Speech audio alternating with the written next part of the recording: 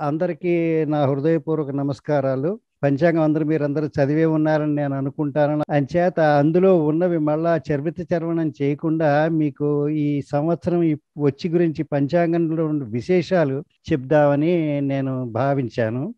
ఈ సంవత్సరం మనకి ఎప్పుడు వచ్చింది ఎప్పుడు వచ్చిందంటే శుక్రవారం నాడు మధ్యాహ్నం హైదరాబాద్ ఇండియా స్టాండర్డ్ టైం ప్రకారంగా పదకొండు గంటల యాభై ఆరు నిమిషాలకు వచ్చింది.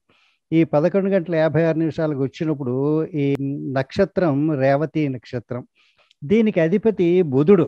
బుధుడు కూడా మంచి గ్రహం శుభగ్రహం. పాపులతో కలిసి లేకపోతే శుభగ్రహంగానే ఉంటాడు. అందులో బుధ మహాదశలో బుధ అంతర్దశతో ప్రారంభమవుతుంది ఈ సంవత్సరం.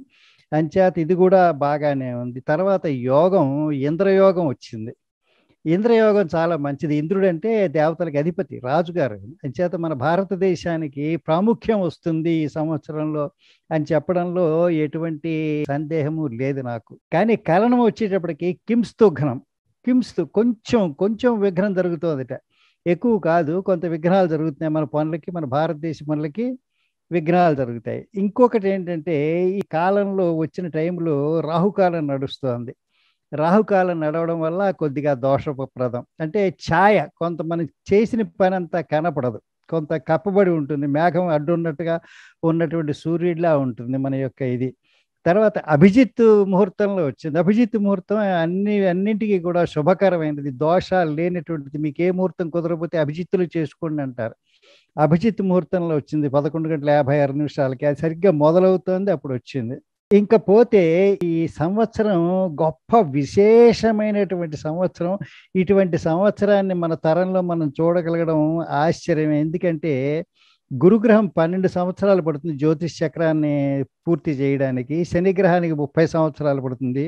రాహుకేతువులు పద్దెనిమిది సంవత్సరాలకు మారుతారు. వీరందరూ కలిసి మళ్ళీ అదే స్థానానికి రావాలంటే నూట ఎనభై సంవత్సరాలు పడుతుంది. నూట ఎనభై సంవత్సరాలు పడిన వింత ఏమిటంటే ఏడాది ఈ ఏప్రిల్ నెలలో మొత్తం అన్ని గ్రహాలు కూడా అన్ని గ్రహాలు కూడా ఈ ఏప్రిల్ నెలలో దిశ మారిపోతున్నాయి పరివర్తన చెందుతున్నాయి.